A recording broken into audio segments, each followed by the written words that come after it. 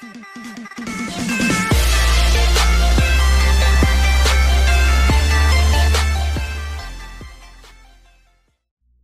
as you can tell by the title, I'm going to be giving you tips on how you can grow your YouTube channel. Notice how I had the lack of the word easy in my title? Well, that's because it's not easy. It's about as hard as Tom Brady when he kisses his son, in all honesty. But, seriously, seriously, alright? It is really hard to grow a channel. But that shouldn't discourage you because I didn't say it was impossible. To be honest, from what I've gathered from many other content creators, the biggest enemy and ally you're gonna have is luck.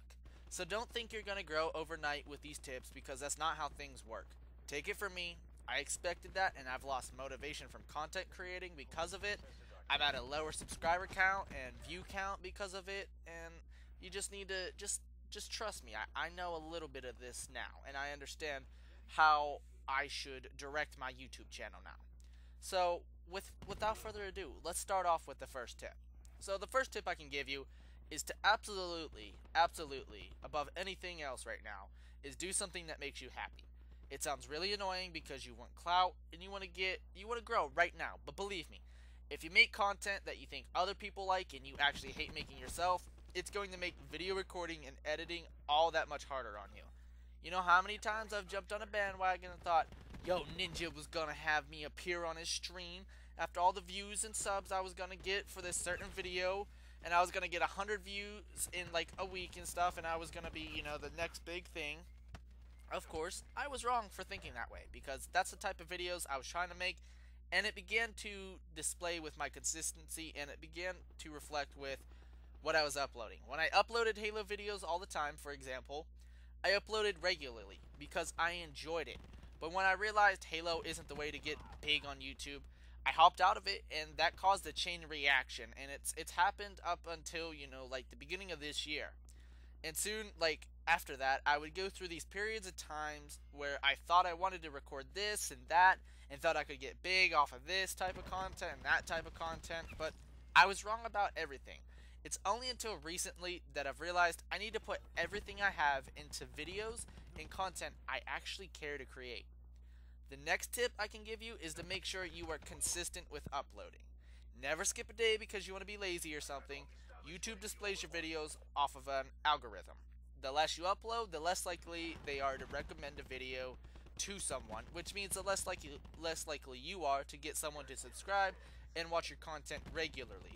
The best way to stay consistent is to refer back to tip number 1 and to also create an upload schedule. If you create a regular schedule for your viewers, they'll know what to expect and they'll they'll they will learn what type of content you make regularly and know what day to come to look for it.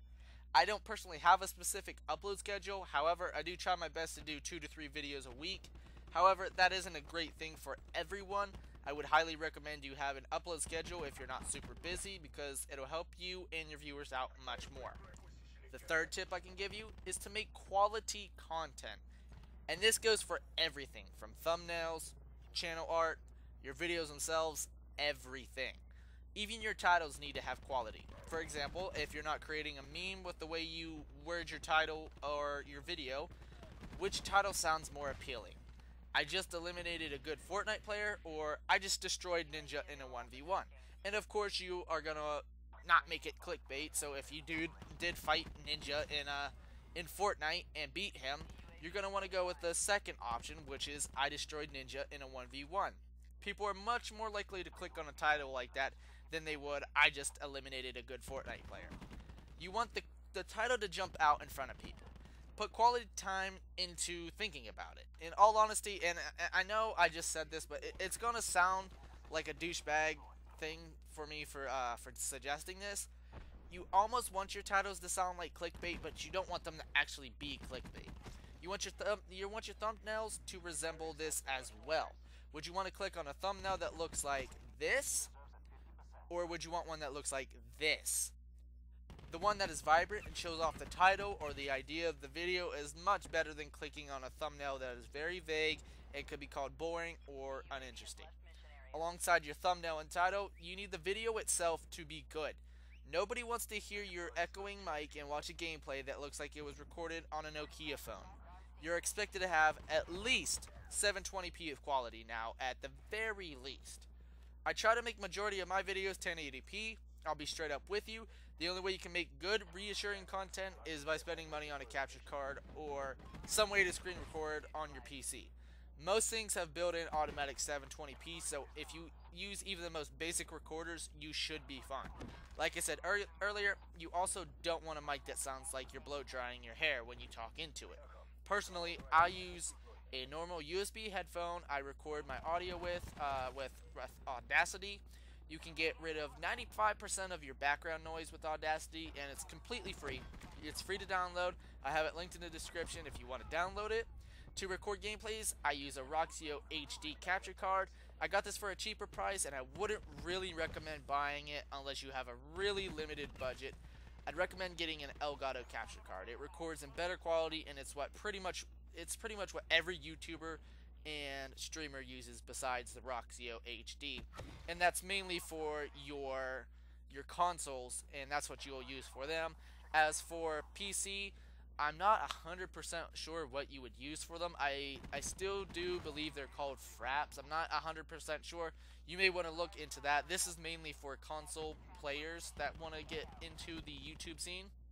Um, the Roxio is only like 60 to $100 depending on where you get it. The Elgato is usually around 150 um, 150 to 200 dollars.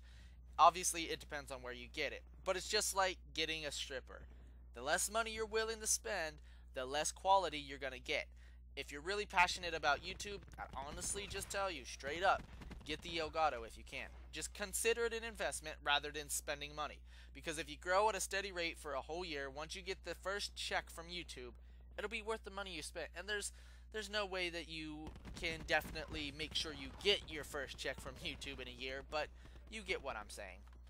And the final tip I can honestly give you is to not ever, ever, ever give up. It sounds cheesy as shit, I know, but trust me.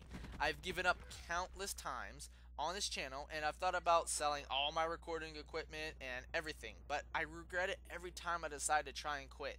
I'll end up getting motivated again and go at a decent pace and then I'll hit a wall and want to give up. Trust me, boys and girls, quitting is not what you want to do. Did SpongeBob stop when when he couldn't find King Neptune's crown? No, he kept going. Did Naruto stop trying to become Hokage? No. Did did Donald Trump stop trying to become a president because of a few setbacks, you know? He only had a small fraction of like a million dollars for an investment for his own business. You know, that's all he was ever given. So, sure, you can have the thought of quitting in your mind, but you don't want to quit. That's my point. Stay motivated and continue pumping out great content. And I know I'm kind of cringing at myself for the things that I just said, but everyone can enjoy your content if you make some good content that you enjoy yourself.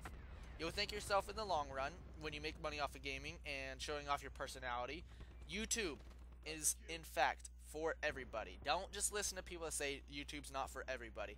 There is somebody out there that will search for your for specific things all the time. There's always people that search for certain things. Some people could literally type in some lyrics to a song they can't remember and have your channel pop up and end up, and end up subscribing. YouTube is about luck, content, consistency, quality, and above all, having fun. But that's going to do it for my tips to grow your gaming channel in 2019. Like I said, don't come into this thinking you're going to kick the gaming industry's ass and you're going to take YouTube or Twitch by storm and you're going to be the next best content creator. You're not going to be recognized over overnight, in a week, probably not a month, and maybe not even a year. You'll slowly gain followers as you produce good quality content. It's just like anything else.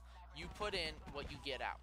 With that being said, though, I hope you guys enjoyed today's video. And until next time, peace out, my dudes.